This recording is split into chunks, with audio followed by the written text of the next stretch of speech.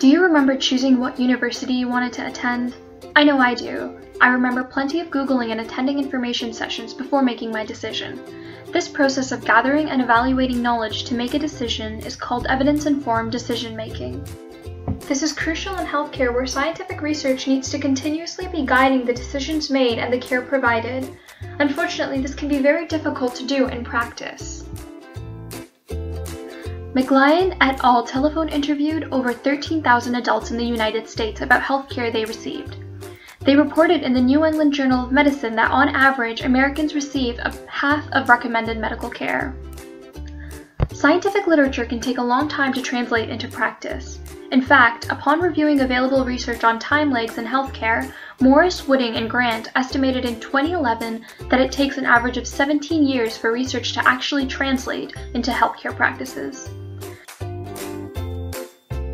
This transfer and exchange of information between different areas of science is called knowledge translation. It involves interactions between scientists, doctors, and patients.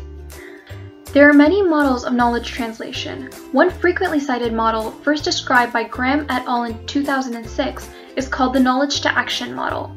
It divides knowledge translation into two parts, the knowledge creation funnel and the action cycle. The main steps of knowledge creation are inquiry into primary literature, evaluation and grouping of relevant ideas, and the development of knowledge tools such as practice guidelines or decision aids. An example of this knowledge creation can be seen in McMaster's undergraduate course, Demystifying Medicine. In this course, groups of students work to find, evaluate, and summarize research on complex medical topics in YouTube videos, such as this one. The second part of the knowledge to action model is the action cycle. The action cycle involves applying the knowledge to a particular problem and then adapting the knowledge to a local context to try and address the reality of the target audience. Then barriers to the use of knowledge need to be considered. After the intervention is implemented, it can be monitored, evaluated, and sustained. Let's consider a case study in which the action cycle is applied by Claude Juvenal and Hawkes. They identified low awareness about the importance of folate among women of reproductive age in the Democratic Republic of the Congo. They surveyed knowledge, attitudes, and practices of 150 females of reproductive age and noted that only 53% knew what folate was, and 16% were aware of its importance in preventing spina bifida. They considered barriers women might face in implementing the knowledge, noting that men often controlled household resources and needed to be on board with medical decisions. After this, culturally tailored radio broadcasts and educational videos were developed in Swahili with French subtitles to raise awareness on folate and prompt action.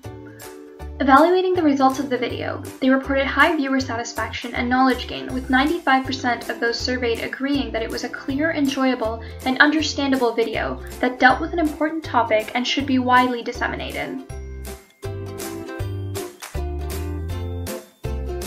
To quickly summarize, knowledge translation requires asking, for whom is the knowledge being translated?